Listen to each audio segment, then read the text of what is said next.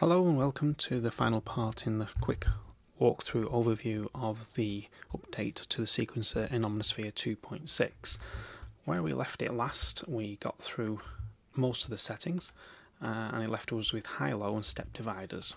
So what I propose to do is just quickly go through these pieces, uh, well the last two bits anyway. Uh, so what we'll do is I will just a bit of a sound together. There we go. Uh, can't have a good sequence without a bit of delay.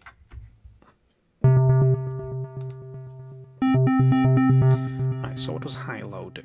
Well, high-low only works when you hold more than one note together, and it pretty much says what it well does what it says on the tin. So if I go high,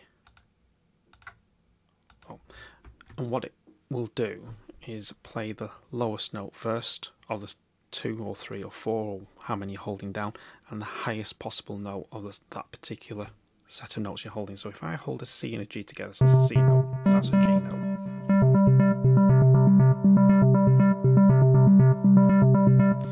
It'll play the C first and the G. If I swap them round,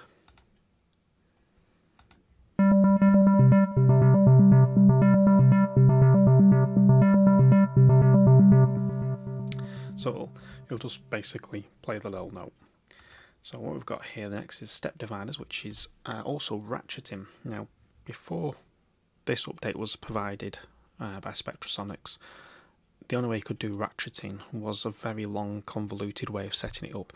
It's still relevant because it gives more control over how the ratchet sounds and um, sort of affects the whole sound. And there's a link above uh, to a video I put together on how to make that happen.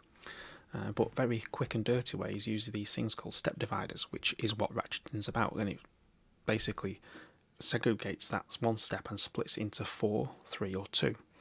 And then you can rise up in intensity by doing two, three, four rise, or fall in intensity by two, four, two, three, or four. So if I put a step divider four in, you get this sound.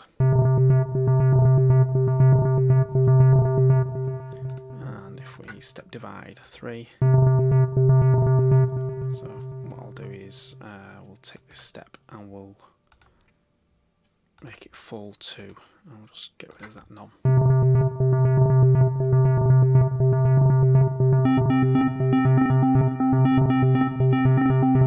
So that's basic ratcheting. Um, 16th makes it sound a bit mad.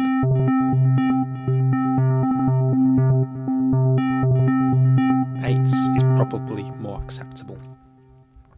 So what we'll do, um, quickly put, now I've gone through the last two bits, we'll quickly put a patch together. So uh, it always happens when I click too fast, that comes up, I do not want to save. So what we'll do is we'll make a very quick patch and have a bit of fun with the new features. So what we'll do, modulate with the LFO, uh, we'll sync that, make that one to one.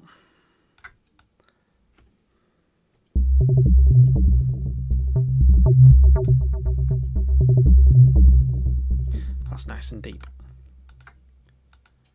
So now what we'll do in this one is uh, I've already got a Moog modular saw set on this one, but what I want to do is put a Moog sampling. So what we'll do, uh, sorry about that rattling, that's the ring on my uh, trackpad, or trackball mouse. Uh, so we'll have a three oscillator.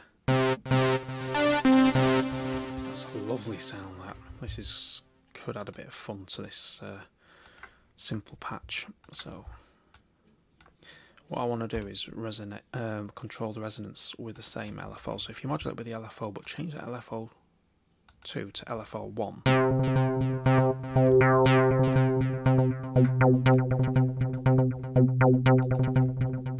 want to put some reverb on that, make it sound a bit epic. Right, what we'll do now is a 16 bar sequence. We've already done some uh, ratcheting in there, so we'll leave that in. and we'll transpose that up an octave and we'll actually slide down a tenth. That's interesting that came on. Uh, we'll slide down. Uh, yeah, we'll slide down to a third.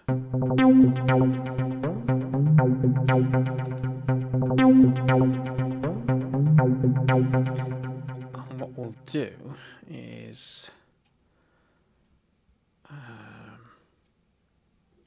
yeah, we'll just stick with the transpose. shorten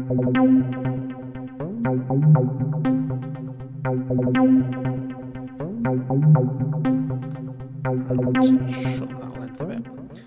And we're going to modulate that with a random effect.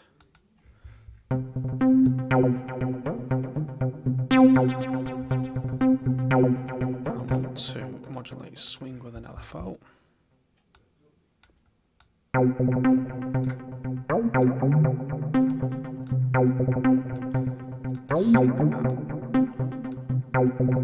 Right, so if we get a sequence together like this.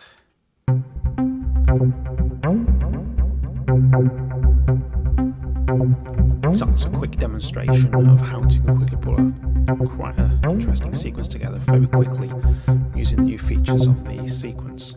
So to finish off, we'll make that a two octave.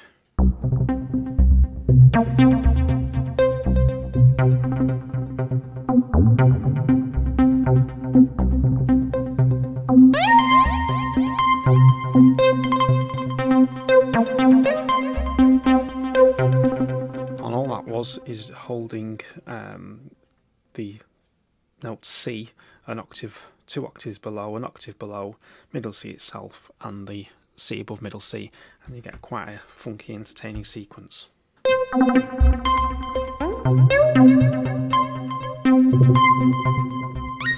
So I hope this little overview gives you some idea of what can be achieved in something which looks quite simple to start with uh, and provides quite a complex sequence quickly. So I hope you enjoyed this little series I put together. If you did, give it a, give this video a like, click the bell above, and you'll be notified of when I upload the next video. And uh, leave a comment below if there's anything you would like me to look at in Omnisphere or music in general, and uh, I'll be happy to make a video on that. So thank you for watching.